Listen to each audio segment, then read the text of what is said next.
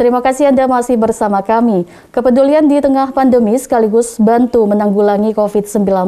Pimpinan Cabang Muhammadiyah Jatinegara Kabupaten Tegal membuka layanan shelter COVID-19 gratis untuk masyarakat.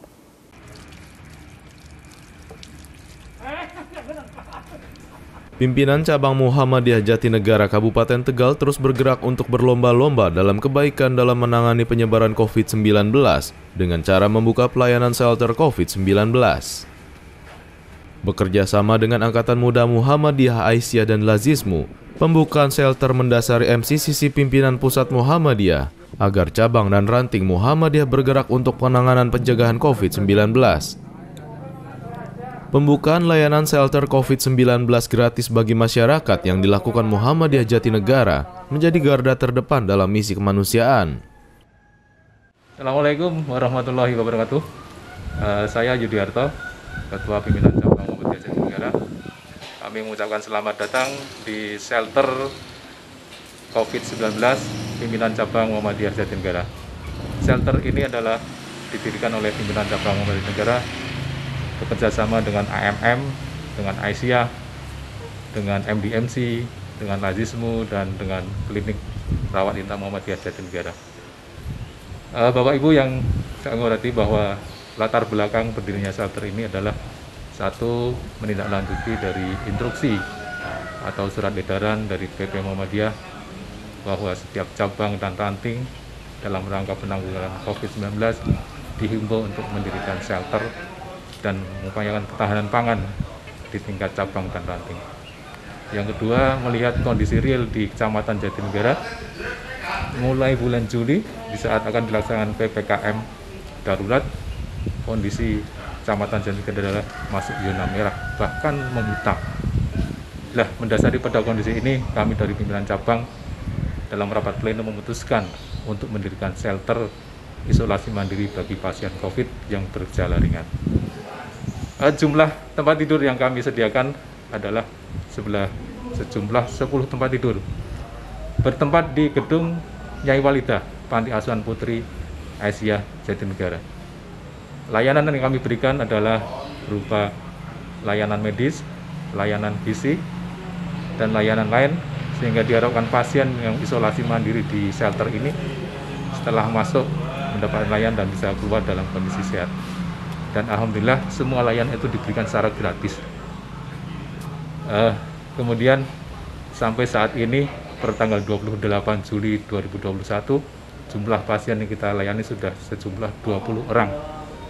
Dari 20 orang itu berasal dari Kecamatan Jatinegara dan Kecamatan Kecamatan Tendaga di Kabupaten Tegal. Semoga kehadiran shelter isolasi mandiri COVID-19 pimpinan cabang Muhammadiyah Jatinegara ini bisa memberikan kebermanfaatan untuk kita bersama dan sebagai tugas bagi kita selaku warga selaku persyarikatan Muhammadiyah untuk memberikan andil di dalam menanggulangi pandemi COVID-19 ini. Harapan kita ke depan pandemi ini segera berlalu dan kita bisa memulai kehidupan secara baru lagi dalam kondisi yang lebih baik lagi.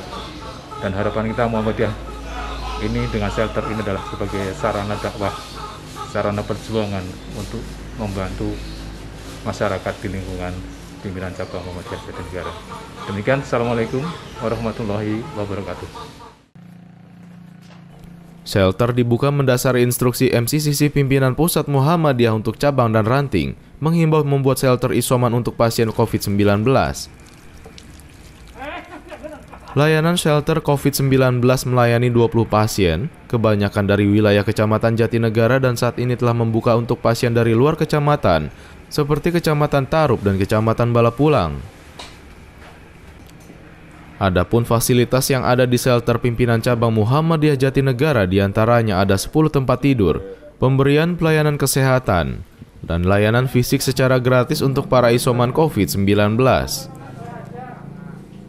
Ketua Pimpinan Cabang Muhammadiyah Jatinegara berharap pandemi ini segera berakhir dan pimpinan Cabang Muhammadiyah Jatinegara Kabupaten Tegal turut bergerak untuk membantu para isoman COVID-19. Alhamdulillah, Rasismu Kabupaten Tegal berhasil menghimpun dan mentasarufkan untuk dana COVID sekitar 143 juta.